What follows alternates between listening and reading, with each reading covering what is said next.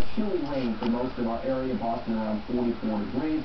It's not impossible in the northern reaches of our area that it may start as some sleet or wet snow. It could end Wednesday night as sleet or wet snow. But Thursday, it looks like things will move along quickly enough that clearing will be here by or during early Thursday so that the rest of the day can see the sunshine. It'll start out in the 20s and 30s and upper 40s it appears right now.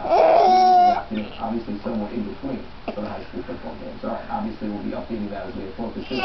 Here's the way forecast goes. Take you through this weekend and into next week. Clear skies, cold tonight.